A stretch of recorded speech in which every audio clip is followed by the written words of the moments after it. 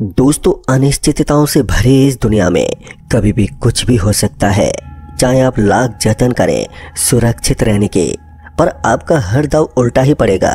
शायद आपको मेरी ये बात अभी बेतुकी या फिर बेवकूफ़ पाना लगे, पर मेरा ये ख्याल यूँ ही नहीं बन गया। आज से लगभग सात साल पहले मेरा एक छोटा सा चार जन का हंसता खेलता परिवार था, जो महज महीने भर में ही तबाह हो गया। चार जन का परिवार। वो परिवार अब सिमट कर दो जन का ही रह गया है। मैं और मेरी धर्म पत्नी, संध्या, जिसे ज़िंदा रखने के लिए मुझे हर रात खून की खुराक का इंतज़ाम करना पड़ता है। दरअसल मेरे इस बुरे वक्त की शुरुआत हुई आज से लगभग सात साल पहले। सन 2016 में, जब मैं अपने परिवार के साथ मेघालय के सुबनसा कॉलोनी में शिफ्ट हुआ, भारत का ये बादलों से घिरा रहने वाला राज्य अपनी खूबसूरती वादियों के लिए दुनिया भर में चर्चित है और इसी खूबसूरत वादियों के बीच मौजूद था हमारा अपार्टमेंट पूर्णिमा, जिसके तीसरे माले पर था हमारा अपना flat zero one three. Purnima apartment की सबसे जो अच्छी बात थी, वो ये थी कि यहाँ पर बहुत ही शांति थी। मसलन यहाँ किसी भी प्रकार का कोई भी शोर शराबा नहीं था। ऊपर से सिक्योरिटी भी बहुत ही ज़्यादा टाइट थी। यानी कि कुल मिलाकर सब कुछ ठीक ठाक ही चल रहा था। पर महज तीन से चार दिनों में ही अपार्टमेंट की सुकून भरी शांति रात होते ही डरावनी खामोशी में बदलने लगी। दरअसल हमें कुछ ही दिनों में ये एहसास हो गया कि दिन में भी पूरे अपार्टमेंट में ना के बराबर ही चहल पहल रहती थी और यही शांति रात के स्या अंधेरे के साथ मिलकर एक डरावनी सूरत इख्तियार कर लेती थी। खैर, अभी हम अपने नए घर को सजाने संवारने में ही मसरूफ थे कि इसी बीच कब हमारी दहलीज पर एक बड़ी मुसीबत ने दस्तक दे दी। दरअसल पांचवी रात को जब हम लोग सोने जा रहे थे कि तभी मेरे बेटे पुलकित को एकाएक खून की उल्टियाँ होने लगी, जिसे देखकर जहाँ पुलकित की माँ अपनी सुदबुद खो बैठी तो वहीं मैं भी बेहद घबरा गया था। फिर जब मेरी बड़ी बेटी सुनैना ने रोते हुए कहा, कुछ करो पापा, तब जाकर मुझे एहसास हुआ कि ये वक्त ऐसे घबराने का नहीं है। मैंने फ़ौरन ही पुलकित को गोद में उठाया और बिना देरी किए उसे नज़दीकी हॉस्पिटल लेकर पहुँचा, जहाँ आनंद फानन में पुलकित को इमरजेंसी में एडमिट तो कर लिया गया, पर जैसे मैंने बिलिंग काउंटर पर अपने घर का एड्रेस लिखवाया तो उसके अगले ही पल उन्होंने मुझे पुलकित को वहाँ से ले जाने को कह दिया, जिस पर मैं उन पर बहुत ही भड़का। मेरे भड़कते ही वो लोग पुलकित को हॉस्पिटल के मेन गेट पर छोड़कर चले गए। खून से लथपथ मेरा बेटा अब बेसुध हो चुका था। मैंने एक बार फिर अपने बेटे को अपनी बाहों में उठाया और दूसरे अस्पताल की तरफ़ चल पड़ा। पर जब दूसरे अस्पताल में भी ठीक पहले अस्पताल वाला बर्ताव किया गया तो मैं बुरी तरह से टूट गया। मैंने उन डॉक्टर के हाथ पैर भी जोड़े, यहाँ तक कि उनके जूतों पर अपनी नाक तक रगड़ी, पर उन जालिमों का दिल नहीं पसीजा। आखिरकार मजबूरन मुझे अपने बेसुध बेटे को लेकर वहाँ से भी निकलना पड़ा। अभी मैं उस अस्पताल से निकला ही था कि तभी किसी ने पीछे से आवाज़ देते हुए कहा, आपके बेटे को पूर्णिमा ही बचा सकती है? उसके अलावा कोई भी नहीं। ये सुनते मैं पीछे पलटा। तो मैंने देखा कि उसी अस्पताल की एक नर्स खड़ी है। उस नर्स पर नज़र पड़ते ही मैंने उससे पूछा, कौन से अस्पताल में मिलेगी पूर्णिमा जी? जिस पर उस नर्स ने कहा कि, आपके घर पर। आप जल्दी से अपने घर पहुँचे। उसके इतना कहते मैं पागल बिना कुछ सोचे समझे, अपने बेटे को लेकर अपने घर की तरफ़ चल पड़ा। उस नर्स से ये भी नहीं पूछा कि, पूर्णिमा जी को मेरे घर का पता मालूम भी है या फिर नहीं? खैर, घर पहुँचने के बाद, अब मुझे इंतज़ार था तो पूर्णिमा जी के आने का। पर रात से सुबह हो गई, और सुबह से फिर रात, पर अभी तक पूर्णिमा जी नहीं आई थी। वहीं पर मेरा बेटा अभी भी बेसुध पड़ा हुआ था। पर अच्छी बात तो ये थी कि उसकी साँसें अभी भी चल रही थी। संध्या और सुनैना भी गुमसुम पुलकित के सिरहाने किसी चमत्कार की आस में बैठे हुए थे। कि इसी बीच घर की डोर बैल बजी। डोर बैल के बजते ही मैं तुरंत ही दरवाजे की तरफ़ दौड़ा। इस उम्मीद में कि डॉक्टर पूर्णिमा जी आई होंगे। पर जब मैंने दरवाज़ा खोला तो मैं एक बार फिर मायूस हो गया, क्योंकि दरवाजे पर ज़ीरो वन ज़ीरो फ्लैट की एक मेड खड़ी थी। इससे पहले मैं उस मेड से कुछ पूछता कि वो मेड से बोली साहब, मैंने सुना है कि पुलकित बाबा की तबीयत बहुत ज़्यादा ख़राब हो गई है, जिस पर मैंने उसे जवाब देते हुए कहा हाँ है तो पर चिंता वाली बात नहीं है, वो ठीक हो जाएगा। मेरे इतना कहते वो मेड बोली, पुलकित बाबा की आज आखिरी रात है, अब उस मेड के ये कहते ही मेरा गुस्से का पारा एकदम से चढ़ गया, पर जब अगले ही पल उस मेड ने कहा, पर आप फ़िक्र मत करो, मुझे पता है कि पुलकित बाबा कैसे ठीक होंगे, आप बस मैम साहब से मेरी बात करा दो तो ये सुनकर मेरे गुस्से का पारा, जो बस फटने ही वाला था, वो अब एकदम से ठंडा हो गया, जिसके बाद मैंने अपनी बीवी संध्या को आवाज़ दी। संध्या के आते उस मेड ने मुझे अंदर जाने को कहा, जिसके बाद मैं घर के भीतर चला आया। फिर कुछ देर के बाद संध्या हाथ में एक काले रंग का कटोरा लेकर आई और बोली, पूर्णिमा ने कहा है कि इस कटोरे में कच्चा दूध भर के घर के चौकट के बाहर रखना है। अगर सुबह ये कटोरा खाली मिला तो अपना पुलकित बिल्कुल ठीक हो जाएगा। दोस्तों, वैसे तो मुझे इस बात पर ज़रा सा भी यकीन नहीं हो रहा था, पर उस नर्स ने जैसा कहा था कि पूर्णिमा ही मेरे पुलकित की जान बचा सकती है। ऐसे में हमने ठीक वैसा ही किया, जैसा कि उस मेड ने करने को कहा था। संध्या ने रात के त्रिमा पहर, यानी कि तीसरे पहर के शुरू होते ही, संध्या ने उस काली कटोरी में कच्चा दूध भरकर चौखट के बाहर रख दिया, और मन ही मन ये दुआ करने लगी कि ये टोटका किसी तरह काम कर जाए। उस रात हमारी आँखें बेसुध पड़े पुलकित पर ही जमी रहे। रात गहराती रही और इसी बीच कब हम सबकी आँख लग गई, पता ही नहीं चला। फिर जब सुबह मेरे कानों में पुलकित की आवाज़ पड़ी तो मेरी आँखें खुली। आँखें खुलते मेरी नज़र पुलकित पर पड़ी, जो संध्या को उठाते हुए कह रहा था, माँ, मुझे बहुत भूख लग रही है, कुछ खाने को दे दो। पुलकित को होश में देखकर संध्या भावुक हो गई। संध्या पुलकित को गले लगाकर चूमने लगी। आखिरकार ऊपर वाले की कृपा से बहुत ही बुरा वक्त टल चुका था। और फिर इसी बीच सुनैना वो काली कटोरी ले आई, जो पिछली रात चौखट के बाहर रखी थी, जो कि अब खाली थी। जैसा कि उस मेड ने कहा था, ठीक वैसा ही हुआ। पुलकित अब काफ़ी ठीक लग रहा था, और महज कुछ ही दिनों में पुलकित पहले जैसा हो गया था। फिर इसी बीच मैंने और संध्या ने उस मेड को शुक्रिया करने की सोची, पर वो फिर कभी भी नहीं दिखी। यहाँ तक कि जब संध्या फ्लैट नंबर 010 वाले से बात करने गई तो उन्होंने दरवाज़ा ही नहीं खोला। कुछ दिनों तक तो ये बात हमें भी खटकी, पर बीतते वक्त के साथ ये बात जहन के किसी कोने में दफन सी हो गई। हमारी लाइफ एक बार फिर से नॉर्मल हो चुकी थी, पर कभी कभी ऐसा लगता था कि मुझे ये पूर्णिमा अपार्टमेंट छोड़ देना चाहिए। पर यह बस मेरा ख्याल भरी था, जिस पर मैंने कभी इतना ज़ोर ही नहीं दिया। बीतते वक्त के साथ हमारी ज़िंदगी की गाड़ी फिर से ज़ोर शोर से चलने लगी। इस बात से बेखबर की मेरा पूरा परिवार मुसीबत के उस भवन में फंस गया है, जिससे निकलने का एक ही ज़रिया है, और वो है मौत। दरअसल पुलकित के ठीक होने के कुछ ही महीनों बाद पुलकित की माँ, यानी कि मेरी धर्म पत्नी संध्या को उसके पीहर वालों ने बुलवा लिया। पर अपने पीहर निकलने से पहले, जब संध्या ने मुझसे उस काली कटोरी में दूध भरकर चौखट के बाहर रखने को कहा तो मैं ये जानकर हैरान हो गया कि संध्या अभी भी वो दूध से भरा कटोरा घर के चौकट से बाहर रख रही है, जबकि पुलकित को ठीक हुए कई महीने हो चुके थे।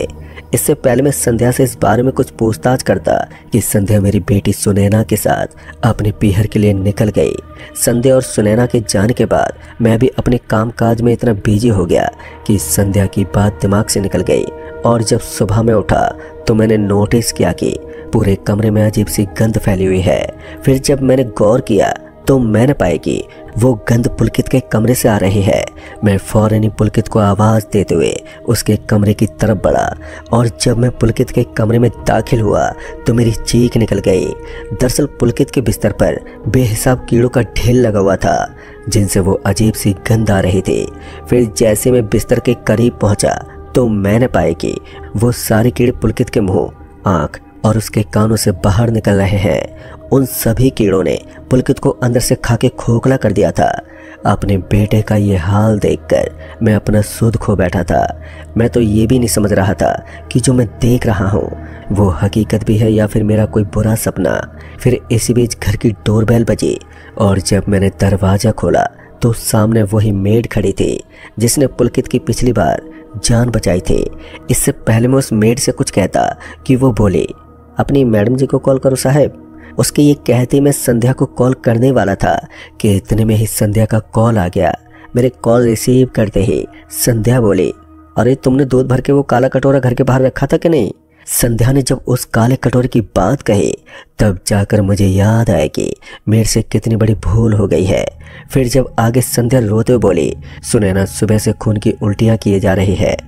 तो ये सुनकर मेरे पैरों तले जमीनी खिसक गई। मैं अपने बेटे को तो पहले ही खो चुका था, और अब मैं अपनी बेटी सुनैना को किसी भी सूरत में खोना नहीं चाहता था, क्योंकि मुझे पता था कि सिर्फ़ मेड ही मेरी बेटी की जान बचा सकती है। लिहाजन मैं उसी वक्त उस मेड के पैरों में गिर गया और अपनी बेटी की जान की भीख मांगने लगा। मुझे अपने पैरों पर रोता गिड़गिड़ाता देख वो मेड बोली, साहब, आप चिंता मत करो, बिटिया को कुछ नहीं होगा। अब इतना बोलकर वो वहाँ से चली गई।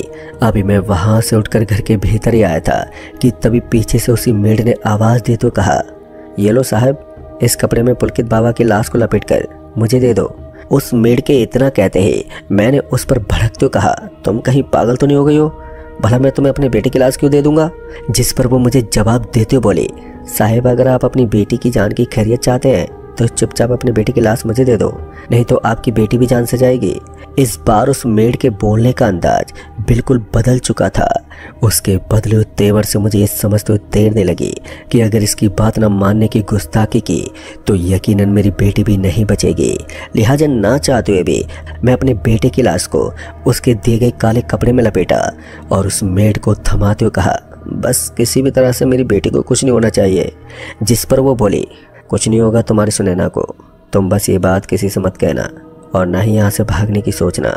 अब ये बोलकर वो मेड मेरे बेटे की लाश को लेकर चली गई। वहीं मैं लाचारी और बेबसी के घूट पीकर रह गया। पर अब ये तो जान चुका था कि जल्द ही ये पूर्णिमा अपार्टमेंट से जान छुड़ानी होगी। नहीं तो एक एक करके सारे मारे जाएँगे। मुझे ये तो पता ही नहीं था कि आखिर ये सब हमारे साथ ही क्यों हो रहा है। पर इतना तो अंदाज़ा हो ही गया था कि हो ना हो, वो मेढे इन सब की जिम्मेदार है। खैर, पर यह वक्त जल्दबाजी दिखाने का नहीं, बल्कि सूझबूझ से काम लेने का था।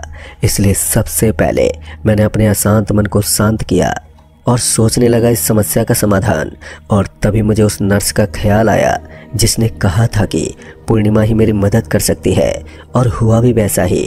यकीनन वो नर्स मेड पूर्णिमा के बारे में कुछ ना कुछ तो ज़रूर जानती होगी। लिहाजा इन सब सोच विचार के बाद मैं तुरंत उस नर्स से मिलने, उस अस्पताल में पहुँचा, जहाँ वो पिछली बार मिली थी। पर संजोग से वो नर्स मुझे मिल भी गई, पर उस वक्त उसने पूर्णिमा के बारे में कुछ भी बताने से इनकार कर दिया। साथ ही ये भी हिदायत दी कि पूर्णिमा जैसा कहती है, वैसा ही करो। नहीं तो अंजाम बहुत ही भयानक होगा। बहरहाल मैं चुपचाप घर लौट आया और घर पहुँचने पर पता चला कि सुनैना और संध्या लौट आए हैं। सुनैना को ठीक देखकर जहाँ मुझे थोड़ी राहत मिली तो वहीं संध्या की नज़रें पुलकित को खोज रही थी। उस वक्त मैंने संध्या को पुलकित के बारे में सचना बता के ये बता दिया कि वो अपने दोस्त रविंद्र के घर गया हुआ है। इसी बीच सुनैना ने मेरे से कहा, पापा, वो मेड आई थी। और फिर से एक और काला कटोरा दे गई। सुनैना की ये बात सुनते ही मैं समझ गया कि अब आगे क्या होने वाला है। अभी मैं इन्हीं सब उलझनों में उलझा हुआ था कि इसी बीच एक अननोन नंबर से कॉल आया। फिर जब मैंने कॉल उठाया तो कॉल पर वो ही नर्स थी, जिससे मैं मिलने गया था।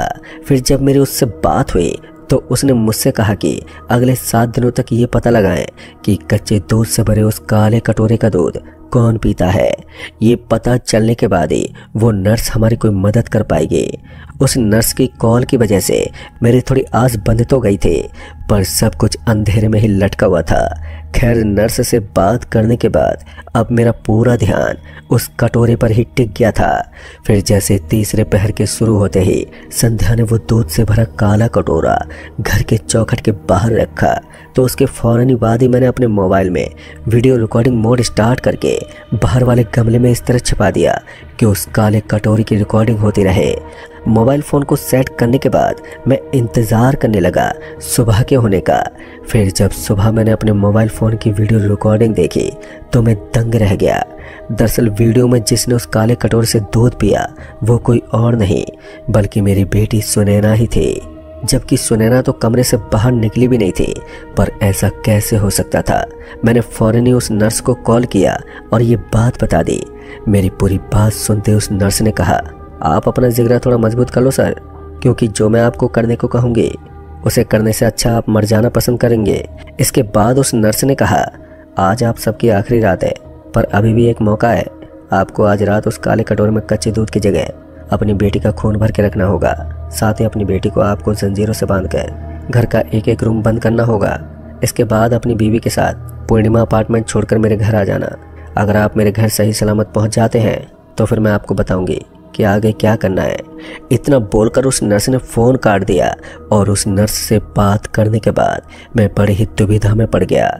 आखिर मैं अपने खुद की बेटी के साथ भला ऐसा कैसे कर सकता था? क्योंकि वो ही तो ले देगे। अब मेरी एक ही दुनिया थी। मुझे समझ में नहीं आ रहा था कि मैं क्या करूँ।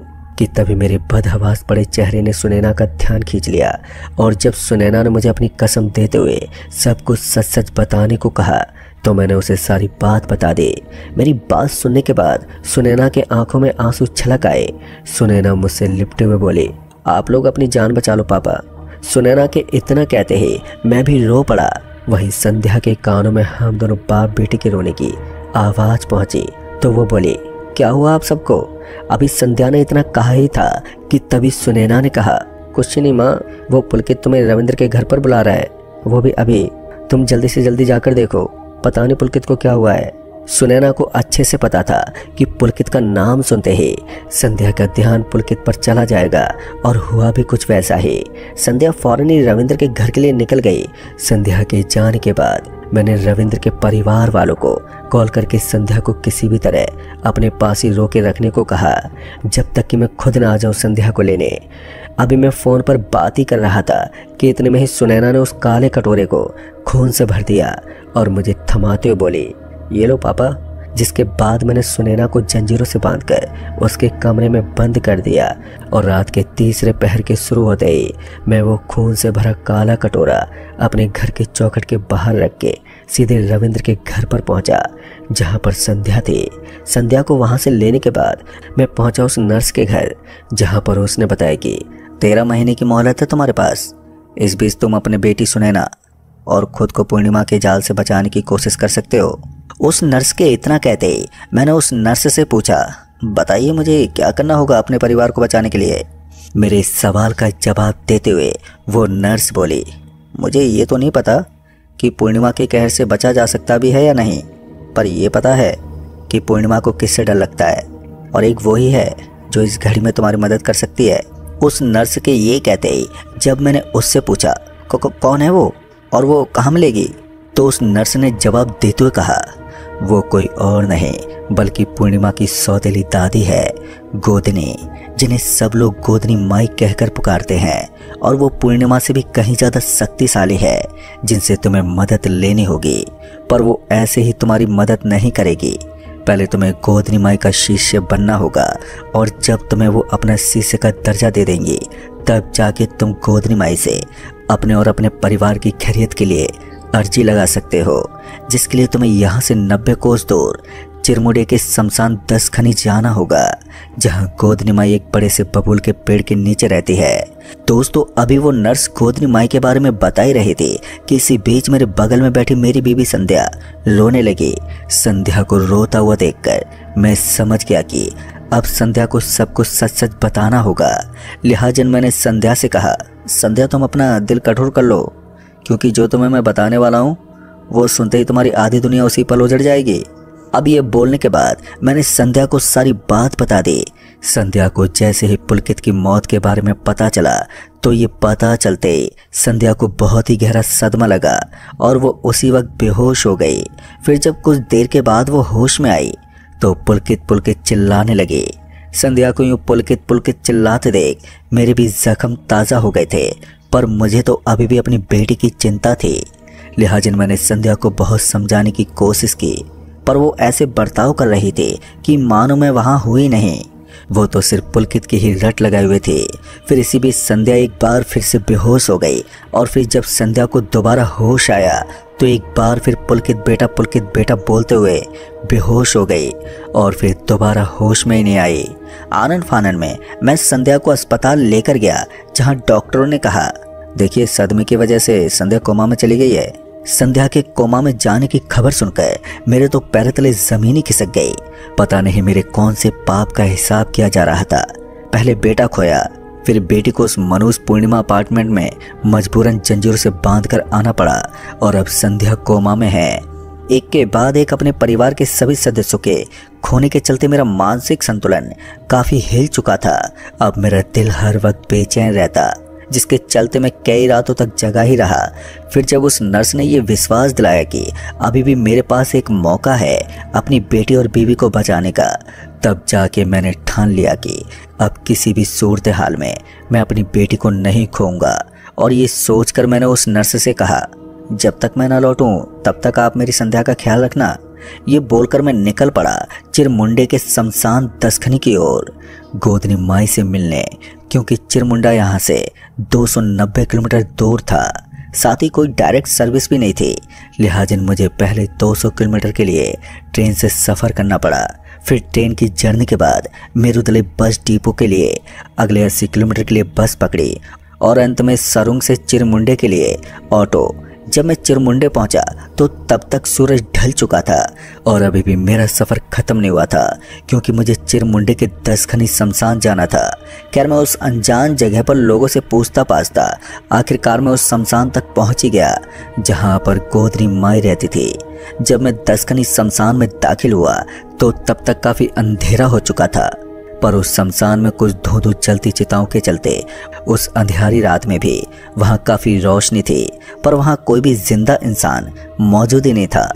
चारों तरफ़ गहरी खामोशी में लिपटी मनुष्यत फैली हुई थी, पर मेरी नज़रें उस बड़े से बबूल के पेड़ को खोज रही थी, जिसके बारे में उस नर्स ने कहा था कि गोदनिमा इस शमशान के एक बबूल के पेड़ के नीचे बैठी मिलेगी, पर जहाँ तक मैं देख पा रहा था, वहाँ तक कोई बबूल का पेड़ नज़र ही नहीं आ रहा था। फिर काफ़ी देर तक नज़र उस शमशान में घुमाने के बाद, जब मुझे गोदनी माई नहीं मिली तो मुझे एक पल को लगा कि शायद मैं किसी गलत शमशान में आ गया हूँ। लिहाजन मैंने वहाँ से निकलने की सोची। अभी मैं उस शमशान से बाहर आने के लिए चला ही था, कि इसी बीच मेरी नज़र एक औरत पर गई, जो उन जलती चिताओं में से लाश को बाहर खींच रही थी। हैरानी वाली बात तो ये थी कि उस औरत को दहकती हुई आग से कुछ फ़र्क ही नहीं पड़ रहा था। वह अपने हाथों से बड़ी आसानी से उन जलती चिताओं में से शव को बाहर खींच ले रही थी। उस औरत को ऐसा करता देख मुझे समझने में देरी नहीं लगी कि हो ना हो यही गोदनी माई है। लिहाजा मैं उनका नाम लेते हुए उनकी तरफ़ बढ़ा। गोदनी माई गोदनी माई अभी मैं उनके कुछ करीबी पहुँचा था कि तभी उस औरत ने गरजते हुए कहा, मरना नहीं चाहता तो अभी भाग जाए यहाँ से, नहीं तो इसी आग में भूंज कर खा जाऊँगी। उस औरत की गरज इतनी भयानक और दिल थर्रा देने वाली थी। कि मेरे कदम उसी पर ज़मीन से ऐसे चिपक गए कि अब ना तो मेरे से आगे बढ़ा जा रहा था और ना ही पीछे हटा जा रहा था। उस वक्त डर का आलम यह था कि मेरा मुँह तक सिल चुका था। मसलन मेरे मुँह से कुछ भी निकल नहीं रहा था। वहीं मेरे वहाँ ऐसे खड़े रहने के चलते गोदनी माई का कुछ ही देर में पारा फट पड़ा और उन्होंने उस जलती हुई चिता से एक दहती हुई लकड़ी उठाई और मेरे ऊपर फेंक कर मारी। वो दहती हुई लकड़ी सीधे मेरे सिर पर आकर लगी, जिसके चलते मैं उसी वक्त नीचे गिर पड़ा और मेरे नीचे गिरते ही आँखों के आगे धीरे धीरे अंधेरा पसरने लगा और फिर कुछ ही देर में मैं बेहोश हो गया। फिर जब मुझे होश आया तो तब तक सवेरा हो चुका था और मैं ज़मीन पर औंधे मुँह पड़ा हुआ था। फिर जब मैं करवट लेते हुए पलटा तो मेरी नज़र सामने कई सारे पुराने संदूक पर गई, जिनके ऊपर कोई बैठी हुई नज़र आई। पर वो कौन थी, ये तो पता नहीं चल पा रहा था, क्योंकि अभी मेरी आँखें खुली थी, जिस वजह से मुझे अभी सब कुछ धुंधलाई दिखाई दे रहा था। खैर, मैं उठकर बैठा और अपनी आँख मसलने के बाद, जब मैंने गौर से उन संदूकों के ऊपर बैठी, उस औरत को देखा तो मैं न पाए कि वो गोदनी माई है। ये पता चलते ही मैंने फ़ौरन ही उनके आगे हाथ जोड़ते हुए कहा, माई कृपा करके मुझे आप अपना दास बना लो। मैं आपकी सेवा करना चाहता हूँ। अभी मैंने इतना ही कहा था कि तभी गोदनी माई ने कुछ कोयले के टुकड़े मेरी तरफ़ फेंकते हुए कहा, ले खा लेने तुझे भूख लगी होगी। मेरे सामने पड़े उन कोयले के टुकड़ों को देखकर मैं इस सोच में पड़ गया कि आखिर इन कोयलों को कैसे खाया जाए। अभी मेरी नज़र उन कोयलों के टुकड़ों पर ही थी कि तभी गोदनी माई बोली क्या हुआ? किस ख्याल में डूबा हुआ है? गोदनी माई के ये कहते ही ना जाने क्यों मेरे शरीर में एक सिरहंसी कौंद गई। नसों में खून भन्नाने लगा और दिल की धड़कनों ने ज़ोर पकड़ लिया और पल भर में ही मेरा पूरा बदन ठंडा पड़ गया। मैं समझ गया कि गोदनी माई का कहा बिना किसी देरी के फ़ौरन ही करना होगा। लिहाजन मैंने फ़ौरन ही उन कोयलों के टुकड़ों को झट से उठाकर खाने लगा। अभी मैंने उन कोयलों के टुकड़ों को खाना ही शुरू किया था। कि तभी मुझे एहसास हुआ कि उन कोयलों के टुकड़ों का स्वाद, कभी गुलाब जामुन तो कभी जलेबी तो कभी किसी दूसरी मिठाई जैसा लग रहा है। मतलब कि हर बाइट में उन कोयले के टुकड़ों का स्वाद बदल जा रहा था, जिसके चलते मैंने उन कोयलों के टुकड़ों को तुरंत ही चट कर लिया। अभी मैंने उन कोयलों के टुकड़ों को ख़त्म ही किया था कि तभी गोदनी माई ने और बहुत सारे कोयले के टुकड़े मेरे आगे फेंक दिए। वहीं अब तक मैं उन कोयलों के स्वाद में इतना ज़्यादा खो चुका था कि मेरा पूरा ध्यान सिर्फ़ और सिर्फ़ खाने में लगा रहा। मुझे ये तो पता नहीं मैंने कितना कोयला खा लिया, पर जब वहाँ पड़े सारे कोयले खा के ख़त्म किए तो तब तक सूरज ढलने को था और मेरा पेट अब इतना ज़्यादा फूल गया था कि मेरे कमीज के सारे बटन टूट चुके थे। यहाँ तक कि मेरे पैर भी दिखाई नहीं दे रहे थे। अभी मैं अपने हद से ज़्यादा फूले हुए पेट को देख रहा था कि तभी पेट में दर्द हो गया। वो दर्द इतना ज़ोरदार था कि मैं तुरंत ही ज़मीन पर लेट गया।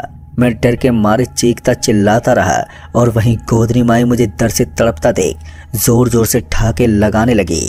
उस नर्स ने ठीक ही कहा था कि गोदरी माई पूर्णिमा से भी कहीं ज़्यादा क्रूर है। फिर इसी बीच जब मेरे पेट का दर्द बर्दाश्त बाहर हो गया तो मैं उस भीषण दर्द के चलते वहीं पर बेहोश हो गया। पर जब मुझे दोबारा होश आया तो एक बार फिर पेट के दर्द से मैं बेहोश हो गया और ये सिलसिला ऐसे ही काफ़ी दिनों तक चलता रहा। मैं उस जगह पड़ा पड़ा इस कदर कमज़ोर हो गया था कि मेरे पूरे बदन की हड्डियाँ झलकने लग गई थी, पर मेरा पेट वैसे ही फूला हुआ था और साथ ही उसका दर्द भी बना हुआ था। मुझे ये तो याद नहीं कि मैं बीते दिनों में कितनी बार बेहोश हुआ और फिर होश में आया। पर जब भी आँख खुलती तो मुझे गोदनी माए मेरे लाचारी और बेबसी पर हँसते हुए दिखाई देती। फिर ऐसी एक रात, जब मुझे होश आया तो मैं एक बार फिर दर्द के मारे चीख उठा। मेरे चीखते गोदनी माई मेरे करीब आ गई और मेरे बगल में बैठते हुए बोली, तेरी तो बड़ी सख्त जान है, जो अभी तक तू मरा नहीं। चल ऐसा कर, एक मुट्ठी मिट्टी खा ले, सब ठीक हो जाएगा। गोदनी माई के ये कहने पर मैंने फ़ौरन ही ज़मीन खरोची और उस मिट्टी को खा लिया। हालाँकि मुझे गोदनी माई पर विश्वास तो नहीं था, पर इसके अलावा मैं करता भी तो क्या? मिट्टी के खाते ही मेरा पेट का दर्द एकदम से छू मंतर हो गया। पेट के दर्द के ठीक होते ही मैं गोदनी माई के पैरों में गिर पड़ा और फिर एक बार फिर से उन्हें मुझे अपने साथ रखने के लिए गुहार लगाने लगा। पर अच्छी बात तो ये थी दोस्तों कि इस बार गोदनी माई मान भी गई। तभी उन्होंने कहा ठीक है, तू मेरे साथ रह सकता है, पर तू वही करेगा जो मैं कहूँगी।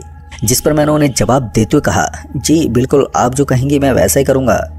अब मेरी हामी भरने के बाद गोदनी माई ने अपने संदूकों की तरफ़ इशारा करते हुए कहा भूल कर भी इनके करीब मत आना और ना ही किसी को आने देना। और मैंने भी ऐसा ही किया। गोदनी माई का शिष्य बनने के बाद, अब मैं उनके आसपास ही रहता। वहाँ गोदनी माई ज़्यादातर अपना समय उन्हीं संदूकों पर बैठे बैठे गुजारती और इसी तरह तकरीबन चार महीने बीत गए और इन बीते चार महीनों में मैंने गोदनी माई की दिल से सेवा की, जिसके बदले गोदनी माई मेरी गुरु माँ बनने को राज़ी हो गई। पर जब उन्होंने मुझे तंत्र साधना की पहली शर्त बताई तो मेरा दिल थर्रा उठा। दरअसल उनकी पहली शर्त के अनुसार मुझे एक ऐसी औरत का कलेजा गोदनी माई को भेंट करना था, जो प्रसव पीड़ा के चलते मरी हो। और उसका शिशु उसके पेट में ही हो। और यही वजह थी कि ये सुनकर ही मेरे हाथ पैरों की नसें ढीली पड़ने लगी थी। ऐसे में मैं इस काम को भला कैसे अंजाम देता? अभी मैं गोदनी माई की तरफ़ टकटकी लगाकर देख ही रहा था कि तभी मेरे उड़े हुए रंगत को देखते हुए गोदनी माई बोले, क्या हुआ? तू भूल गया सुनैना को? वो आज भी उन्हीं जंजीरों से जकड़े। तेरे लौटने की राह तक रही है? जिनमें तो उसे बाँध कर आया था। गोदनी माई की ये कहते, मेरे नसों में बिजली कौंध गई और उसी पल मैंने गोदनी माई से कहा, नहीं माई, मैं बिल्कुल नहीं भूला हूँ। अपनी सुनैना को, आप मुझे बस इतना बता दो कि ऐसी औरत मुझे कहाँ मिलेगी जो प्रसव पीड़ा से मरी हो। मेरे ये पूछते ही गोदनी माई बोले, तू दक्षिण की ओर चलता जा, वो तुझे वहीं मिल जाएगी, पर ध्यान रहे कि तुझे उसका कलेजा निकालते हुए कोई देख ना ले। दोस्तों अब गोदनी माई के कहे अनुसार मैं उसी वक्त निकल पड़ा उस दिशा की ओर, बिना देरी किए। हालाँकि वो रात्रि का तीसरा पहर था। चारों तरफ़ गहरी खामोशी और सनसनी बहती हवाओं ने एक अलग ही माहौल बना के रखा था। खैर मैं उस औरत की तलाश में चलता रहा और जब मैं ऐसे ही चलते चलते किसी बस्ती के पास पहुँचा तो मुझे किसी की कराहने की आवाज़ सुनाई पड़ी और जब मैं उस आवाज़ की ओर गया तो मुझे चौराहे के बीचों बीच कोई एक खंबे से बंधा हुआ दिखा। फिर जब मैं उसके करीब पहुँचा तो मेरी आँखें बड़ी हो गईं। दरअसल वो एक गर्भवती औरत थी, जो अभी अधमरी हालत में उस खंबे से बंधी पड़ी करा रही थी। अभी मैं उसके करीब खड़ा, उसकी ओर देखते हुए सोच ही रहा था, क्या ये वही औरत है जिसकी मुझे तलाश थी? पर ये तो ज़िंदा है, जबकि गोदनी माई के कहे अनुसार ये तो मरी हुई होनी चाहिए थी। अभी मैं इन्हीं सब उलझनों में फंसा हुआ था कि इतने में उस औरत ने मुझे देख लिया और उस औरत ने जैसे मुझे देखा तो वो चीखते बोली, मैंने कुछ नहीं किया, मुझे जाने दो, नहीं तो मेरा बच्चा मेरे पेट में मर जाएगा। अभी उस औरत ने ये कहा ही था कि तभी वो दर्द से छटपटाने लगी और कुछ ही देर में रक्त श्राव शुरू हो गया, जिसके चलते वो खंबे से बंधी गर्भवती औरत और भी ज़्यादा दर्द से तड़पने लगी। जहाँ एक और वो दर्द से तड़प रही थी तो वहीं मैं वहाँ पर खड़ा बस उसके मरने की राह देख रहा था और फिर जब उस औरत ने मेरी आँखों के सामने दम तोड़ा तो मैंने अपनी निगाहें चारों तरफ़ घुमाई। ये देखने के लिए कि कोई है तो नहीं, क्योंकि अब मुझे उस औरत के सीने से उसका कलेजा निकालना जो था, ऐसे में मैं ये सुनिश्चित कर रहा था कि वहाँ कोई मुझे उस औरत का कलेजा निकालते हुए देख ना ले। चारों तरफ़ निगाहें घुमाने के बाद जब ये साफ़ हो गया कि वहाँ कोई भी मौजूद नहीं है तो मैंने वहीं सड़क के किनारे पड़ी फूटी हुई कांच की बोतल उठाई और उसकी मदद से मैंने उस औरत के सीने से उसका कलेजा बाहर निकाल लिया।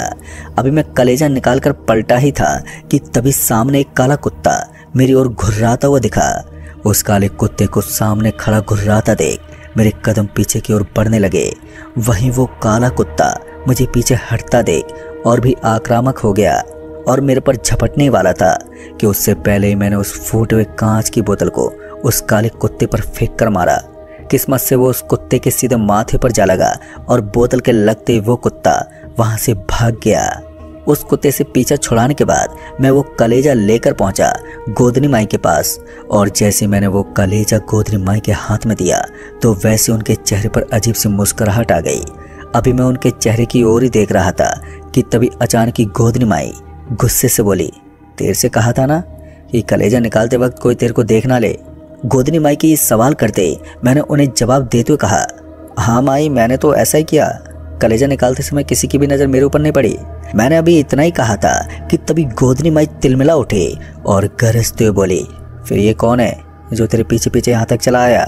गोदनी माई के मेरे पीछे इशारा करते मैं पीछे पलटा, ये देखने के लिए कि आखिर वो कौन है जिसने मुझे कलेजा निकालते हुए देख लिया?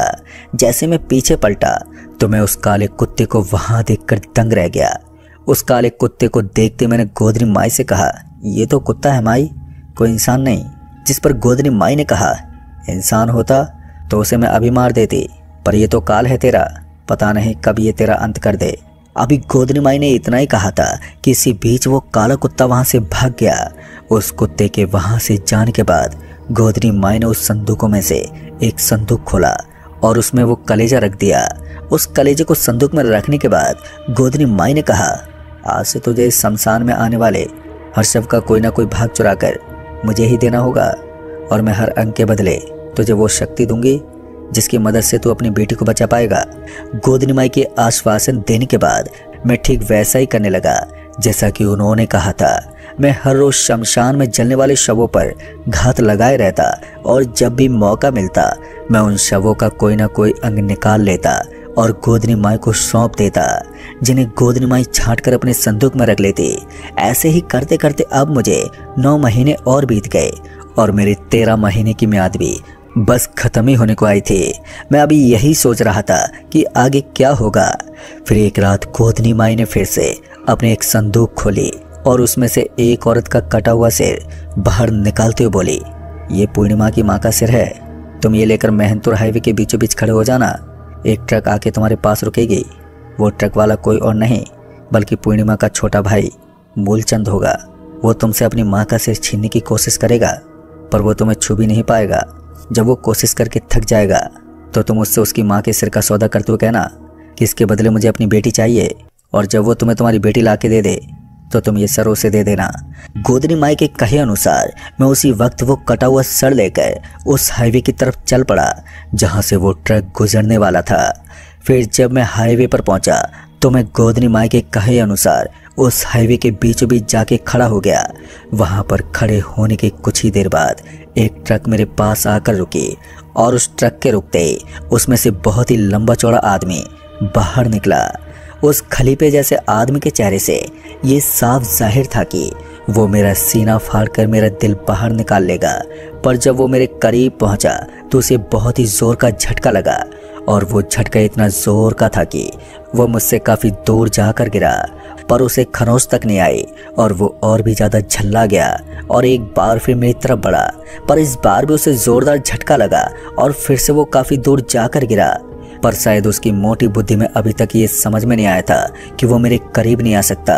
लिहाजन वो काफ़ी देर तक मेरे पर हमला करता रहा और झटके खाता रहा। फिर जब वो हमला करके थक गया, तब जाके मैंने उससे कहा, मुझे मेरी बेटी लाके दे दो और अपनी माँ का सर ले जाओ। अब मेरी ये बात जैसे उसके कानों में पड़ी तो वैसे उसने हमला करना बंद कर दिया और बड़ी ही भारी आवाज़ में बोला, यहीं रुको, मैं आता हूँ। इतना बोलकर वो ट्रक में बैठा और वहाँ से चला गया और मैं वहीं हाईवे के किनारे खड़ा उसके लौटने का इंतज़ार करने लगा। उस ट्रक वाले की राह देखते देखते रात से सुबह हो गई, पर वो नहीं लौटा। पर मैं अपनी जगह से हिला नहीं, इस उम्मीद में कि वो आएगा ही, पर वो नहीं आया। लेकिन दोपहर के ठीक बारह बजे मुझे उस हाईवे पर पूर्णिमा आती हुई दिखी और उसके साथ ही मेरी बेटी भी थी। पूर्णिमा ने मेरी बेटी मुझे सौंपते हुए कहा, आज तो तू बच गया, पर तेरी ये खुशी ज़्यादा दिन तेरा साथ नहीं देगी। और ये बोलकर उसने अपनी माँ का वो कटा हुआ से मेर से ले लिया और वहाँ से वो चली गई। दोस्तों, उस वक्त तो मुझे अपनी बेटी की पाने की खुशी इतनी ज़्यादा थी कि मैंने पूर्णिमा की बात पर इतना ध्यान नहीं दिया। फिर इसके बाद जब मैं अपनी बेटी सुनैना को लेकर संध्या के पास आ रहा था कि रास्ते में अचानक ही गोदनी माई मिल गई, उनके हम पर नज़र पड़ते। उन्होंने कहा, तेरी बेटी मिल गई ना? अब जा, तेरी बीवी को भी होश आ जाएगा। पर यह ध्यान रहे कि होश में आने के बाद जब वो खाने को जो भी मांगे वो ही देना, उसके सिवा कुछ भी नहीं। और हाँ उस काले कुत्ते से हमेशा सावधान रहना। ये बोलकर गोदनी माई वहाँ से चली गई। फिर जब मैं सुनैना के साथ अस्पताल पहुँचा तो संध्या सच में होश में आ गई। संध्या होश में आते ही बोली, मुझे प्यास लगी है। मुझे पीने के लिए खून दो। संध्या के मुँह से ये सुनकर मैं समझ गया कि मुसीबत अभी भी मेरे गले ही पड़ी हुई है, जिसके बाद से मैं संध्या को ज़िंदा रखने के लिए आज तक खून पिला रहा हूँ। पर मेरी बेटी सुनैना भी कुछ महीनों के बाद अचानक ही किसी कुत्ते का शिकार हो गई, जिसके चलते उसकी भी मौत हो गई। दोस्तों, आज मैं एक अजीब सी उलझनों से घिरा हुआ हूँ। पता नहीं मेरे साथ ये क्यों हुआ, आखिर मैंने वो कौन से पाप किए थे, जिनको मैं आज भी झेल रहा हूँ। तो दोस्तों, इस कहानी में बस इतना ही। कहानी आपको पसंद आई हो तो वीडियो को लाइक, शेयर, कमेंट ज़रूर कर दें। तो मैं आपका दोस्त राजकुमार, जल्द ही मिलूँगा ऐसी एक और दर्दनाक कहानी के साथ। तब तक के लिए बाय एंड टेक केयर